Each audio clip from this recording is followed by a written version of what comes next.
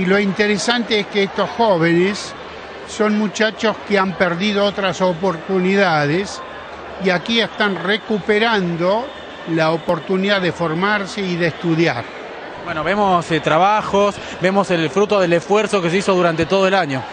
La verdad que han trabajado mucho y por lo que se puede apreciar, han trabajado muy bien también. Don Bosco, su preocupación era brindarle a los chicos posibilidades para el futuro, formarlos en los valores como buenos cristianos y buenos ciudadanos, o también como decía él, buenos cristianos y honrados ciudadanos. ¿no? Y a él le preocupaba mucho, justamente porque en Turín había muchísimos jóvenes abandonados sin posibilidad de trabajo porque era tal la cantidad de jóvenes que iba, que acudía a la ciudad, que era imposible darles trabajo a todos. Y no había cualificación tampoco. Entonces él se preocupó por cualificar a los jóvenes. Algo parecido de lo que hace esta institución al día de la fecha. Claro. Nosotros como salesianos tratamos de que se continúe esta preocupación de Don Bosco.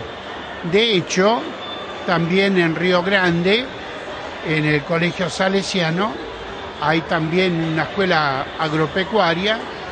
Y em, en, eh, en Treleu, por ejemplo, hay también una pequeña escuela laboral. Hay varias escuelas, algunas técnicas de importancia, como la de Comodoro Rivadavia, que ya es una palabra mayor porque esa escuela técnica con todas las letras, ¿no? Una comunidad salesiana que dice presente y con gran número en toda la Patagonia. Sí, sí, en toda la Patagonia.